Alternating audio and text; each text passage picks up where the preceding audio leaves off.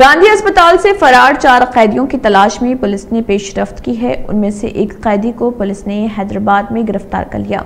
گاندھی اسپتال سے اگست کے مہینے میں فرار چار قیدیوں میں ایک قیدی سوما سندھر کو نارتھ زون پولیس نے حراست میں لے لیا۔ بتایا گیا ہے کہ چاروں قیدی اسپتال سے فرار ہو کر شمس آباد سے گلبرگہ پہنچے۔ چاروں نے گلبرگہ میں ایک موٹر سائیکل کا سرقہ کیا اور اس موٹر سائیکل کو فروخت کرنے کے مقصد سے سوما سندھر حیدرآباد میں آیا ہوا تھا۔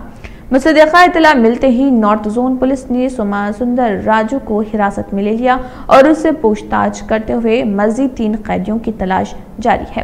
خیال رہے کہ دو ماہ قبل چار قیدیوں کو کورونا ٹیسٹ کروانے کے لیے گاندھی اسپتال لایا گیا تھا۔ تاہم قیدیوں نے رات کے اندھیرے کا فائدہ اٹھا کر فراری اختیار کر لی تھی۔ بتایا گیا کہ اسپتال سے فرار ہونے میں ان میں سے ایک قیدی جاوید کا اہم رول ہے۔